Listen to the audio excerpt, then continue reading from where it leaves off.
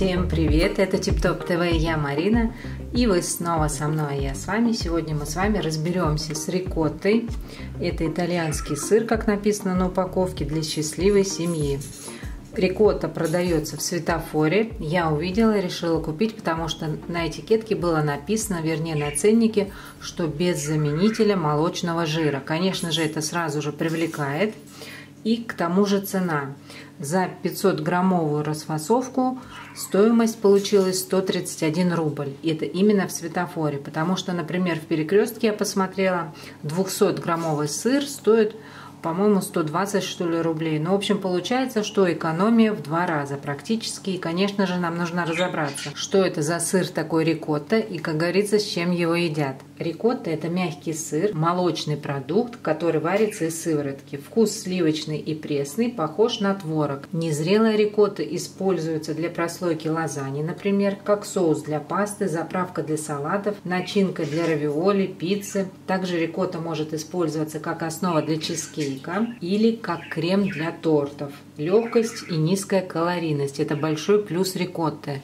Также рикотту можно использовать для фарширования болгарского перца, для выпечки пирогов, сырников, ватрушек. В общем, применение универсальное. Массовая доля жира в сухом веществе 45%. Молочная сыворотка – Сливки пастеризованные, соль пищевая, без глютена, консервантов и растительных жиров. Россия, Брянская область, город Севск. Храните рикотту, здесь указано от плюс 2 до плюс 5. Срок годности получается до 16 ноября 2020 года. Это удобно, потому что можно запастись рикоттой впрок и доставать по мере необходимости. Готовить мы сегодня будем с вами по рецепту моей подписчицы, которая написала в комментариях этот рецепт. Для этого нам понадобятся груши, молотая корица, мед и, конечно же, самый гвоздь программы – это рикотта. Запекать я буду в форме тоже из светофора. Форма называется Marinex, она овальная.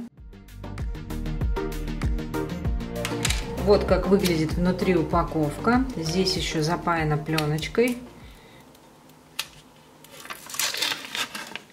сыр, посмотрите, и сметана, и мягкий творог вот в одном лице. По крайней мере, внешне так выглядит. Ой, какая нежная, посмотрите. Очень нежный вкус. И не творог, и не сметана.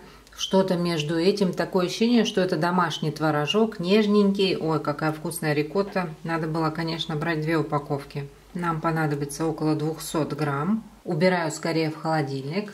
К рикотте добавляю ложку. Можно больше добавить. Я добавлю столько, может быть еще чуть больше. В общем, ложку меда.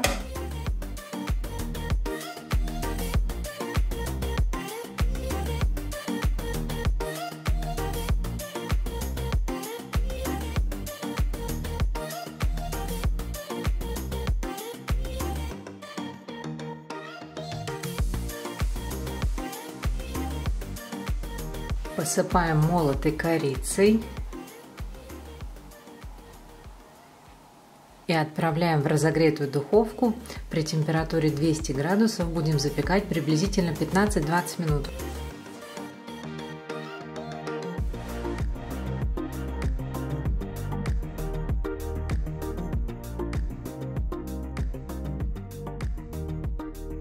Я уже попробовала, это вкусненько, это действительно вкусный десерт, необычный. Груши с рикоттой и медом, с корицей. Необычный рецепт. Самое главное, что это десерт и готовится очень быстро. Ничего тут сложного нет, никаких яиц, никакой муки в состав не входит. Ну а мы с вами разобрались наконец с рикоттой какая она, для чего она и стоит ли ее покупать в светофоре. Конечно же, я буду покупать в следующий раз не одну, а две, а то и три упаковки в запас, потому что рикотта очень вкусная, хранится 4 месяца и подходит для всех практически блюд, а, в которые входит творог или сыр мягкий, творожный. К тому же получается, что это недорогая замена, допустим, такому сыру, как маскарпоне. Ну а если это видео было вам полезно, а также интересно, ставьте лайк, подписывайтесь на мой канал, чтобы не пропустить следующие выпуски. Желаю вам здоровья, а также полезных бюджетных покупок. С вами была Марина, канал Тип Топ ТВ.